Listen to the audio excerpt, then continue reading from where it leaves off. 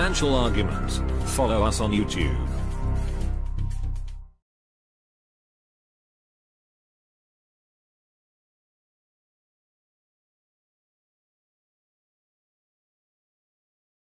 Let's get into the economic collapse financial news. Now, we are seeing bubbles everywhere, and it's not just here in the United States. We're seeing it in many other countries. Canada, for instance, the Canada Mortgage and Housing Corporation, well, they issued a report warning that there is a strong evidence of overall problematic conditions. What does that even mean? Well, in the report, the housing regulator again warns that while conditions in Canada's housing market are showing some signs of improvement, the official overall rating from the Canada Mortgage and Housing Corporation will be held at strong evidence of problematic conditions. Evidence of overvaluation has increased from moderate to strong in Victoria as fundamentals are not keeping up with higher prices. There is also moderate evidence of price acceleration and overheating, leading to strong overall evidence of these problems. And it looks like what they're saying is we are moving into a bubble territory. And we are seeing bubbles pop up every place where things are overvalued, overheated, and these bubbles are getting to pop. And what we're seeing here in the United States is a housing echo bubble, which exceeds the 2006 2000 bubble peak. And if you need some evidence that the echo bubble in housing is global, well, we need to take a look at Sweden's housing. And a funny thing often occurs after a mania fueled asset bubble pops. An echo bubble inflates a few years later as monetary authorities and all the institutions that depend on rising asset valuations go all in to reflate the crushed asset classes. And if we look at Case Shiller home price index charts for San Francisco, Seattle, Portland, Oregon, each now exceeds its previous housing bubble the first go around. And here we are in the second go around, and we're starting to see that it has topped that. Now, housing bubbles take about five to six years to reach their bubble peaks, and about half the time, well, to retrace much or all of its gains. And when bubbles are followed by echo bubbles, the bursting of the second bubble tends to signal the end of speculative cycle in that asset class. There is no fundamental reason why housing could not round trip to levels below the 2011 post bubble that we saw the first time. Now, Fannie Mae, well, they just put the pedal to the metal and they just got their marching orders to spread more debt. Because remember, the central banking system works by spreading debt, inflating the bubbles, blowing them up. And we can see right now that Fannie Mae, well, they have introduced an innovative solution. They're allowing student loan, student debt laden millennials to buy a home. How are they going to do this? Well, they just changed the rules, allowing millennial borrowers, among other things, to simply exclude student loans, credit cards, and auto loans that are paid by someone else when they apply for a new mortgage. And as an added benefit, taxpayer subsidized mortgage loans can also now be used to repay student debt. And this, of course, is going to work out great for everyone, especially the taxpayers. And this is a really good idea for the millennials who are already suffering the financial consequences of having too much debt, who really can't find work or anything like that. And this is all about inflating the housing bubble once again. And we can see right now there is a race on right now on who is going to bring the economy down first and who it's going to be blamed on. Now, the central bankers, they've already started the process of bringing down the economy. They started raising the interest rates and they're inflating the bubbles and they're trying to bring this down. Now, they want to control this entire system coming down. Why? Because if they can control it, they can blame whoever they want. They have the ability to control the narrative of how this happened. They can control on how they want to proceed going forward by maybe lowering the interest rates, going negative interest rates now because we're in trouble, creating more currency, and basically to have the control to start the system over again to say that this is why you need the central bank. Now, we have, on the other hand, the Trump administration, those individuals who are behind the scenes saying, you know something, we need to get rid of the central bank. We need to take charge right now, where they are blowing up the bubble and trying to pop it before the central bank. This way, they can call the central bank out on it. And everything that Trump is doing is moving in that direction. He's not going to be bringing back jobs. He's not going to make the economy better. But every act that he does now, which is what we're watching, these are the indicators. I mean, if he strays from this, we know something else has changed, something else is going on. But everything that he does now is going to be completely different than what you thought was going to happen. Because what he's doing is he is basically working undercover, just like a drug agent or FBI detective who goes undercover into some type of criminal ring, pretends they're one of them, works with them, gets them to trust what he is doing or she is doing, and then comes after them. This is exactly what Trump is doing. And this is why it looks so strange to everyone. Because in the beginning, he did try this other method where he came out and said, okay, we're going to bring back jobs. We're going to change this. And guess what? It didn't work. You can't do it. So you need to go undercover. You need to work in this way. But there are certain little hints to show us that he's still trying to do what he said he was going to do. And he's preparing this for when this whole system comes down where these individuals can gain control of the system and get rid of the central bank. Now, the Trump administration, well, they are preparing an executive order on withdrawing the U.S. from NAFTA. Now, the deep state wanted NAFTA. This just not, NAFTA did not help the job situation whatsoever. Actually, it removed the jobs from the United States. And we can see there's a draft order. It has been submitted for the final stages of review and it most likely will be unveiled maybe in the next coming weeks. So that's something that we need to look at and watch. Trump has come out with his tax reform plan. We know this is not going to pass whatsoever, but he came out with it to show that yes, he's looking at cutting taxes right now, and we know the deep state, the central bankers, they don't want any of this. This is not going to help their situation. And we can see right now that the bubbles are growing. Right now, the U.S. stock market is officially in a massive bubble based on the one valuation metric that cannot be faked. Corporations, well, they can engage in any number of accounting gimmicks to juice their earnings. Cash flow, dividends, buybacks, they can do all this kind of stuff. For this reason, the PE, the PCF, and the PDY ratios are all suspect when it comes time to value a corporation. Sales, well, that's a little bit harder to manipulate. Yeah, I guess you can go into the books and just say we made this number of sales, but it's going to be pretty darn obvious when you do this. So it's very difficult to do. Either money comes in the door or it really doesn't. And if a company is caught messing around with sales numbers, well, someone sometimes goes to jail. For this reason, price to sales is perhaps the single most objective and clear means of measuring stock valuations. Now, this metric, above all others, you can point to and say, this is definitely accurate and has not been messed with. On that note, as Bill King recently noted, today the S&P 500 is sporting a price to sales ratio that is massively higher than it was in 2007 and is only marginally lower than it was during the tech bubble, the single largest stock bubble of all time for most measures. And here we are today. There is simply no way to look at this and not call it a bubble. It is well above the 2000 bubble and just slightly smaller than the tech bubble. This bubble, like all other bubbles, will burst. We know it will. It's a fact. It has done it throughout history.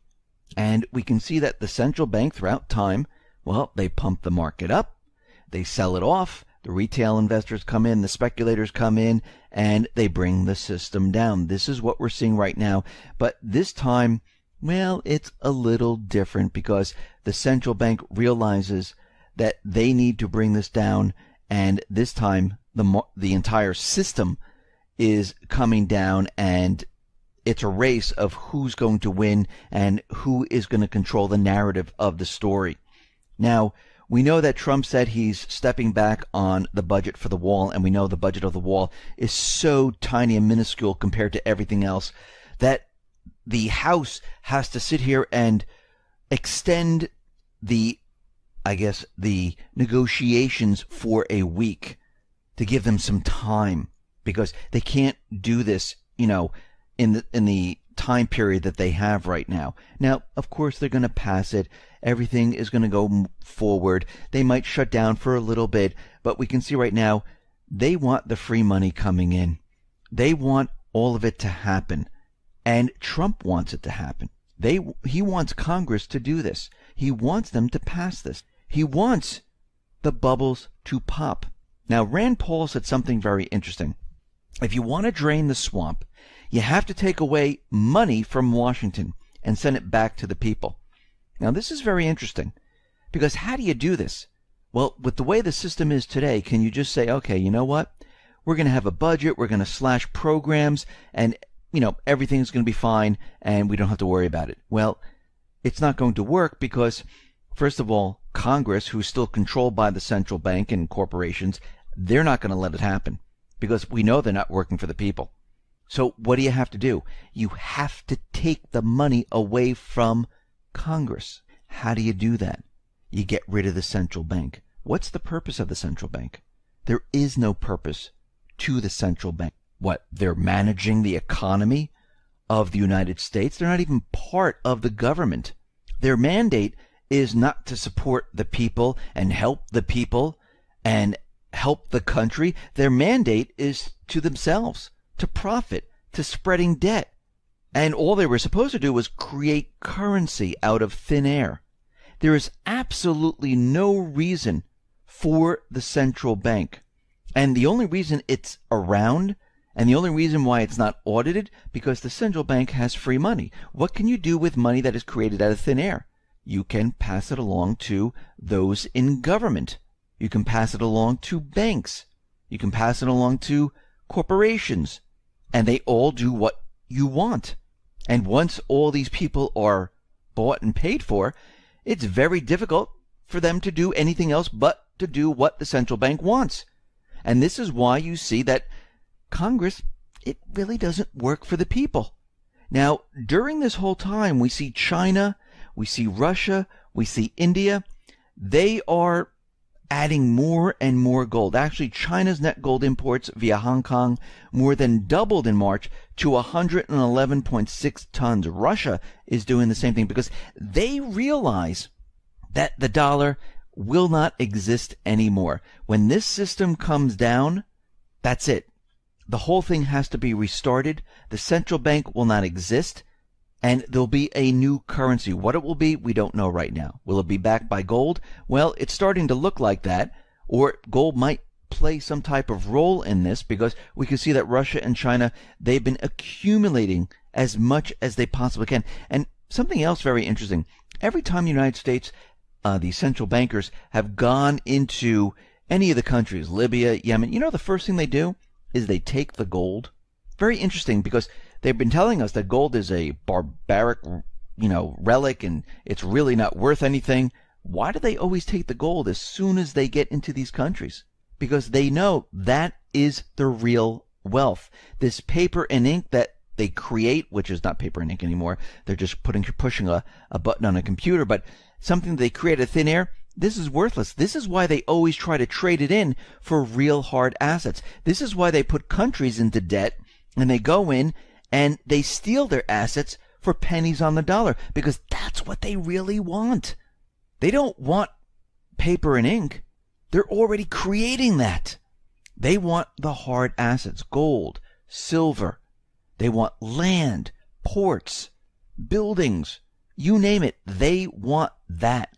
That is the real wealth. So where are we headed right now? Well, there's a race right now, on right now to crash the system. And the winner will control the narrative narrative of the story. The winner will reset the system. Now, we are hoping that it's not the central bank because if it is the central bank, guess what? They're going to restart the central bank. They're going to start this nightmare all over again. If it's Trump and his administration that I see right now, he's going to make a move to get rid of the central bank. And this is something that we are watching. Just got their marching orders to spread more debt. Because remember, the central banking system works by spreading debt, inflating the bubbles, blowing them up. And we can see right now that Fannie Mae, well, they have introduced an innovative solution. They're allowing student loan, student debt laden millennials to buy a home. How are they going to do this? Well, they just changed the rules, allowing millennial borrowers, among other things, to simply exclude student loans, credit cards, and auto loans that are paid by someone else when they apply for a new mortgage. And as an added benefit, taxpayer subsidized mortgage loans can also now be used to repay student debt. And this, of course, is going to work out great for everyone, especially the taxpayers. And this is a really good idea for the millennials who are already some monetary authorities and all the institutions that depend on rising asset valuations go all in to reflate the crushed asset classes. And if we look at Case Shiller home price index charts for San Francisco, Seattle, Portland, Oregon, each now exceeds its previous housing bubble the first go around. And here we are in the second go around, and we're starting to see that it has topped that. Now, housing bubbles take about five to six years to reach their bubble peaks, and about half the time, well, to retrace much or all of its gains. And when bubbles are followed by echo bubbles, the bursting of the second bubble tends to signal the end of speculative cycle in that asset class. There is no fundamental reason why housing could not round trip to levels below the 2011 post bubble that we saw the first time. Now, Fannie Mae, well, they just put the pedal to the metal and they had strong evidence of problematic conditions. Evidence of overvaluation has increased from moderate to strong in Victoria as fundamentals are not keeping up with higher prices. There is also moderate evidence of price acceleration and overheating, leading to strong overall evidence of these problems. And it looks like what they're saying is we are moving into a bubble territory. And we are seeing bubbles pop up every place where things are overvalued, overheated, and these bubbles are getting to pop. And what we're seeing here in the United States is a housing echo bubble, which exceeds the 2006 2000 bubble peak. And if you need some evidence that the echo bubble in housing is global, well, we need to take a look at Sweden's housing. And a funny thing often occurs after a mania fueled asset bubble pops. An echo bubble inflates a few years later. As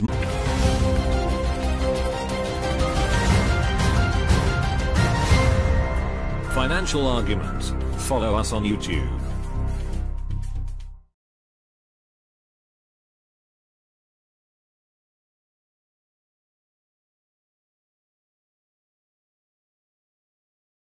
Let's get into the economic collapse financial news. Now, we are seeing bubbles everywhere, and it's not just here in the United States. We're seeing it in many other countries. Canada, for instance, the Canada Mortgage and Housing Corporation, well, they issued a report warning that there is a strong evidence of overall problematic conditions. What does that even mean?